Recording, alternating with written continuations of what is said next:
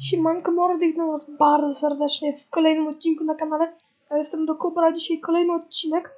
Kolejna taka jakby, taki news, mogę, mogę tak nazwać.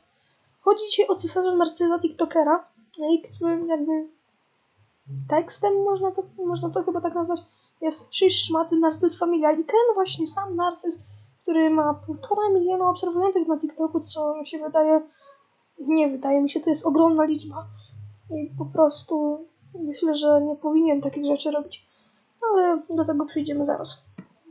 Podejrzewam, że już nie mogliście słyszeć o tym, że nar- wyciekły nagrania, gdzie Narcyz po prostu wysłał jednej ze swoich widzek, chyba widzek, nie jestem pewny, i po prostu wysłał nieodpowiednie nagrania. Ale jeszcze zanim zaczniemy, to zostaw suba i łapeczkę w górę. Będę wdzięczny.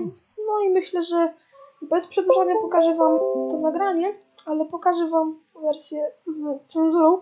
Jeżeli jesteście ciekawi, jak to wyglądało, mimo że nie ma czego być ciekawym, bo ja to widziałem, to link macie w opisie, ale to tylko dla, od razu mówię, odważnych. Także ja nie przeszkadzam i puszczę Wam właśnie to nagranie.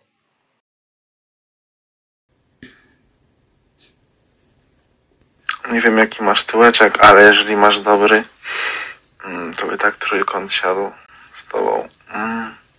W sensie na dwa kutasy, że jeden od tyłu, drugi do przodu. Jak widzicie, tutaj zaczyna się ta mniej przyjemna część, dlatego tutaj na- nałożę Wam cenzurę yy, i po prostu link dla odważnych w opisie.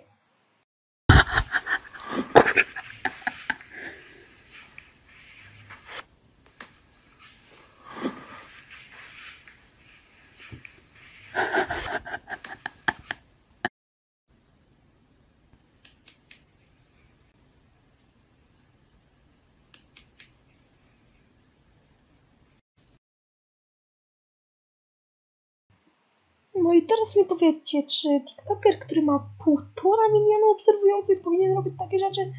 Pójdźmy na logikę, wydaje mi się, że nie. Nawet chociażby, chociażby dla dobrej reputacji, bo myślę, że on to już na pewno stracił i raczej prędko jej nie odzyska.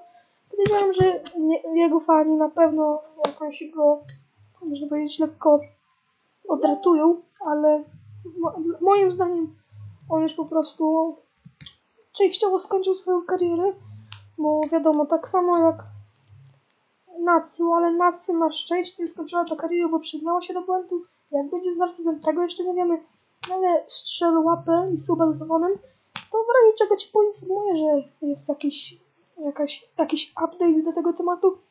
No i co, dzięki za oglądanie, siemano.